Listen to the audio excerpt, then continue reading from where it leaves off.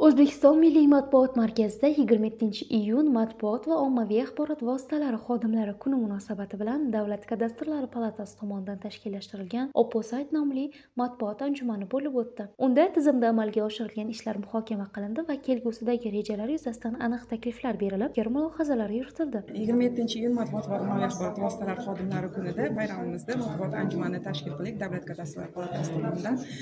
Biroz boshqacharoq yondashuv qilishga harakat qildik ya'ni zid qarama qarshi savol javob tarzida o'tkazishni reja qildik. Bundan maqsadimiz jurnalistlar o'z bayramlarida o'sha ishlari ishlar jarayonida boshlaridan o'tkazgan mashaqqatlarni va tajribalarni boshqa o'sha jurnalistlarimiz blogerlar bilan o'rtoqlashishligini xohladik. Bir yil davomida davlat kadastr palatasida jamoatchilik aloqalar bo'limi tomonidan amalga oshirilgan ishlar hisoboti taqdim etildi.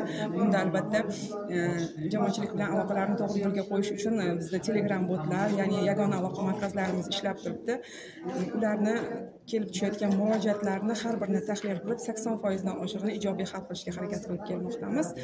E, tadbirimizni yana bir qismi o'sha savol javob tarzida o'tdi. Ya'ni mm, bu yerga tashrif buyurgan sizdek jurnalist blogerlarimizga kadastrchilarimiz o'zlarining alohida savollarini taqdim qilishdi va ular orqali sizlar judayam kerakli javoblarni yig'ilganlarga taqdim qildingiz. Shu bilan birga tadbirga tashrif buyurgan barcha ommaviy axborot vositasi xodimlari davlat kadastrlari palatasi tomonidan tashakkurnoma va esdalik sovg'alari bilan taqdirlandi.